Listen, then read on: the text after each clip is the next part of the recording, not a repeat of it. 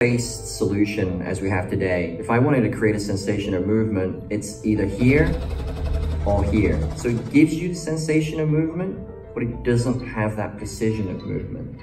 So the fundamental shift in what's happening is that now we're migrating away from channels.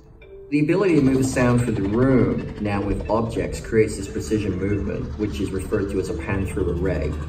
Now the helicopter has that fluid movement of hitting speaker number one, speaker number two, speaker number three, speaker number four, and then having that precision as it goes around me in the auditorium. And now by placing speakers over the audience, we can truly create that immersive sound field that now makes it feel like the helicopter is literally buzzing over your head. Overhead surrounds, for the first time, adds that upper hemisphere of sound that we've been missing from films.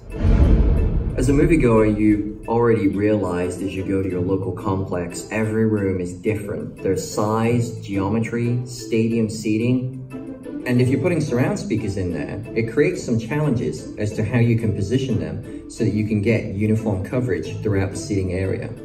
As we deliver this next technology, that is where it really shines by being able to accurately portray in all these different room sizes, geometries, speaker feeds. It's a radical shift from anything we've ever done before. For theater owners, their primary concern as always is how can I get more people to come to my theater? But now with this better technology of surround sound and sound over the audiences, that now gives them something to leverage bringing people back into the theater.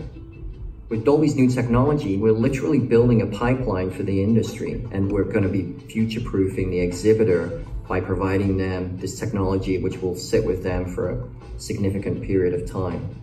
So what we're doing is really a huge fundamental shift in the way audio is not only mixed, but also perceived inside your theaters. And it's really a huge change from 5.1 to 7.1. That was only an incremental change.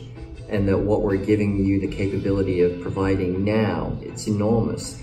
The ability to have pinpoint precision, the ability to have these sounds wherever they need to be and over the audience for the first time is a real differentiator that hasn't happened before.